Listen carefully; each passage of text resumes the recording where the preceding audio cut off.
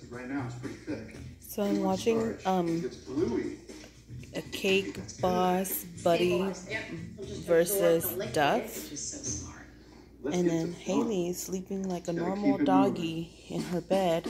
So bananas Foster Right. is basically like a bananas flambe. It's And then we have in over it. here. It's got a little bit of bourbon. It's my secret weapon in this pie. How does she have her arm floating like that? Yeah, I got a plan here. I feel good. Like her arm is floating.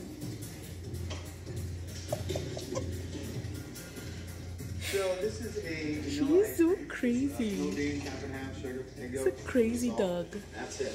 That's, Her that's name it. is Like, Sue. you always take it to the next level. It's like he's gonna do pie, he's gonna do something else. She's so cute. Oh, look at this crust here. Really nice crisp edge.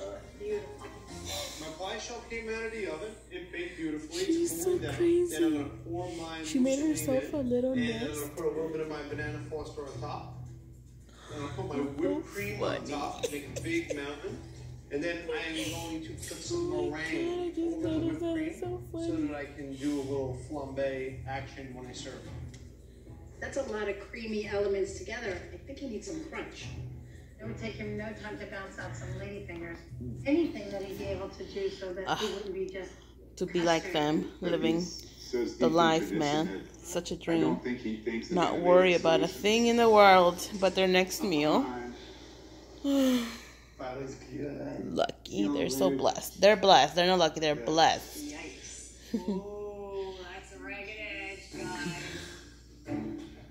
Let's get the decoration on top. So All gonna be a right. Bye bye. This needs to be more like